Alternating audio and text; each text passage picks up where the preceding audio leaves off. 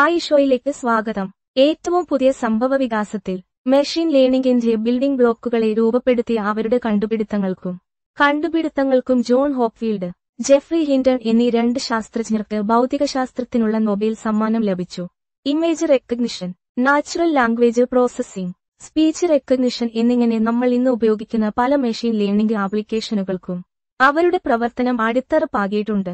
നമ്മുടെ ജീവിതത്തിന്റെ പല വ്യവസായങ്ങളിലും വശങ്ങളിലും വിപ്ലവം സൃഷ്ടിക്കാൻ കഴിവുള്ള ഒരു പ്രധാന മുന്നേറ്റമാണിത്. ജോൺ ഹോപ്ഫീൽഡ് ഒരു ഭൗതിക ശാസ്ത്രജ്ഞനും ന്യൂറോ സയന്റിസ്റ്റുമാണ് അദ്ദേഹം ന്യൂറൽ നെറ്റ്വർക്കുകളിലും സ്പിൻ ഗ്ലാസുകളിലും പ്രവർത്തിച്ചതിന് പേരുകേട്ടതാണ്. കൃത്രിമ ന്യൂറൽ നെറ്റ്വർക്കുകളിലെ പ്രവർത്തനത്തിന് പേരുകേട്ട കമ്പ്യൂട്ടർ ശാസ്ത്രജ്ഞനാണ് ജെഫ്രി ഹിൻഡൻ. അവർ രണ്ടുപേരും മെഷീൻ ലേണിംഗ് മേഖലയിലെ പൈനീർമാരാണ് അവരുടെ പ്രവർത്തനം ഈ രംഗത്ത് ആഴത്തിലുള്ള സ്വാധീനം ചെലുത്തിയിട്ടുണ്ട്. ഭൗതികശാസ്ത്രത്തിനുള്ള നോബൽ സമ്മാനം ലോകത്തിലെ ഏറ്റവും അഭിമാനകരമായ അവാർഡുകളിൽ ഒന്നാണ്. ഭൗതികശാസ്ത്ര മേഖലയിൽ കാര്യമായ സംഭാവനകൾ നൽകിയ ശാസ്ത്രജ്ഞർക്ക് ഇത് നൽകപ്പെടുന്നു.